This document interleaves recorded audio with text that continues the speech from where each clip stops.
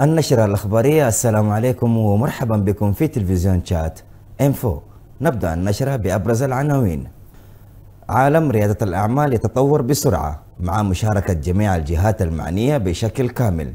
هكذا نشأت وانطلقت المبادرة الاقتصادية الشابة. في بيئة السجون كثير من قصص النجاح. تم تكريم مساجين مركز الحبس الاحتياطي في دوبا. اللي لقوا أو حصلوا على شهاداتهم البكالوريا.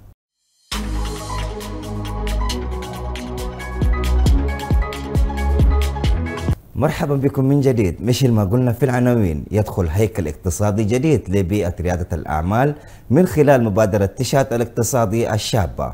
تجمع المبادرة دي بين المحترفين الشباب ورجال الأعمال القاعدين يسعوا لدعم الشباب المبتكرين والمبدعين ليحسنوا مهاراتهم وتعزيز النمو في مجال ريادة الأعمال. عبد الرحمن عثمان يحيى والتقرير. بكونها الفكرة السريعة في تقوية مجال الاقتصاد للشباب في تشات دي المهمة اللي كان حددتها المبادرة الاقتصادية الجديدة لشباب تشات واللي قدموها اليوم فجر بدخولها رسميا في مجال هنا ريادة الأعمال التشادي.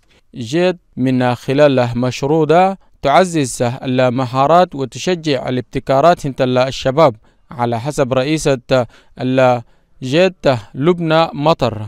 زادت في كلامها قالت من خلال المشروع ده ممكن الشباب يكونوا فاعلين أساسيين وعندهم فاعلية كبيرة وتأثير في المجال الاقتصادي وتأسيس هناجت كمان بقي في ديسمبر 2023 وهو يجمع بين المهنيين ورجال الأعمال التشاديين الشباب اللي عندهم طموحات للازدهار في ده ويوفر فرص للدراسة والتدريب للقادة الشباب لتحقيق طموحاتهم.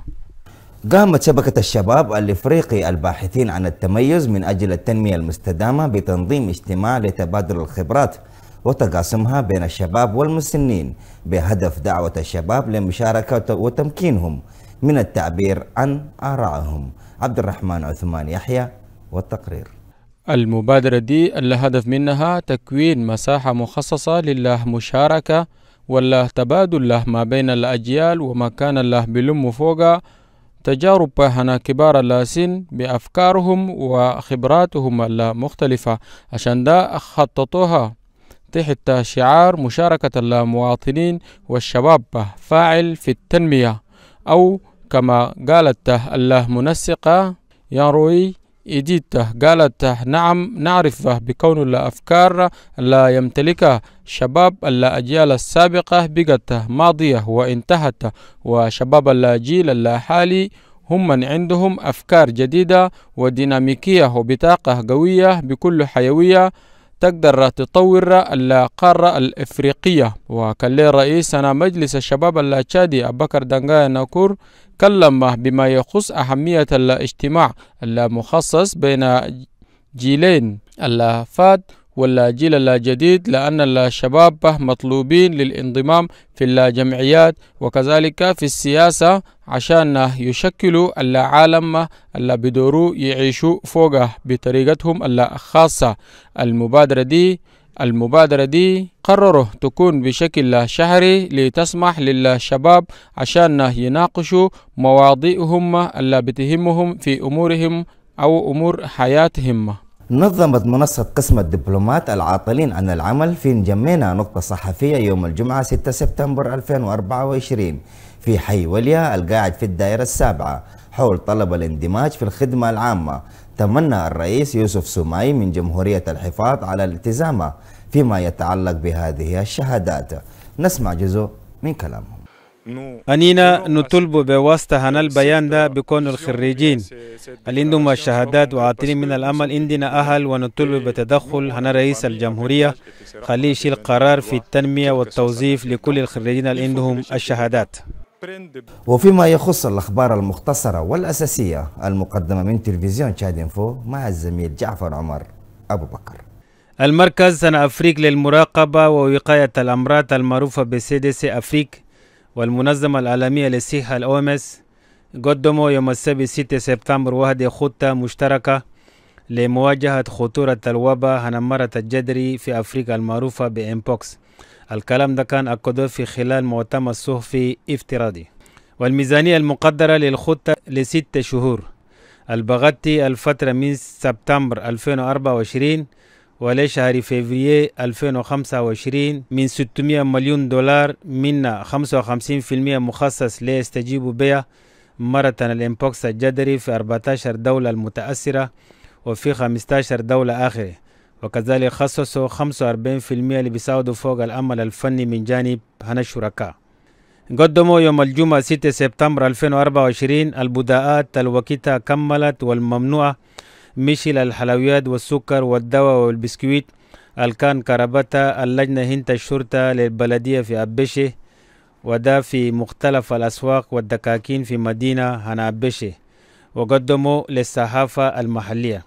الأمين العام لولاية وداي أبو بكر حسين ديجي رحب بالفكرة دي وطلب من التجار خلية يتعاملوا بالإنسانية وكذلك طلب من رجال البلدية خليه يشيلوا كل الإجراءات دي كل التجار اللي بيبيعوا البضاعات المتلفة والتاريخ مكمل ويقدموهم قدام المحكمة. بمناسبة المؤتمر 14 للملاحة الجوية لمنظمة الطيران المدني الدولي المعروف ب OSC في كندا المدير العام لسلطة الطيران المدني أداك هنتشات سنوسي حسن عبد الله رسميا كي كان مضى في اتفاقية لإدارة الخدمات مع جان كارلوس سالزار الأمين العام هنا الأواسي.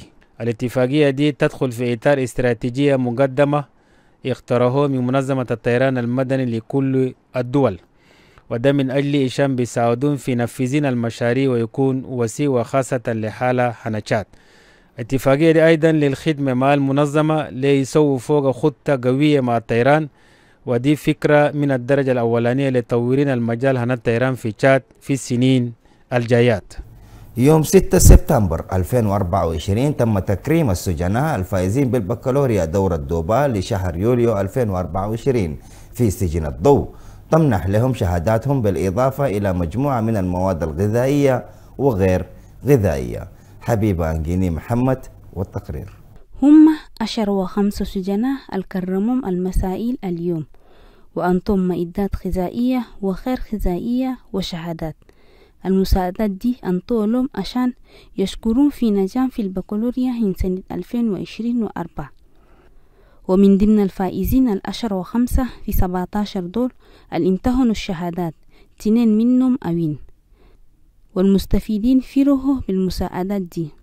المدعية عن المحكمة هندوبة السيدة ناجيلم دومبويتاك ولكن جوندي قالت الشهادة أول من نوعه من هي ما جات في رأس المحكمة هندوبة وزادت في كلامها وقالت بنتو السجناء دول شهادات عن السلوك الجيدة على حسب القانون في مندليا التابعة لمقاطعة شاري باقرمي شهدت حالة من الفيضانات عن فوضى وفي حوالي 15 حي تعبيرا عن التضامن قدمت شركة الاتصالات المحمولة أرتيل تشات المواد الغذائية لضحايا المنطقة في 6 سبتمبر.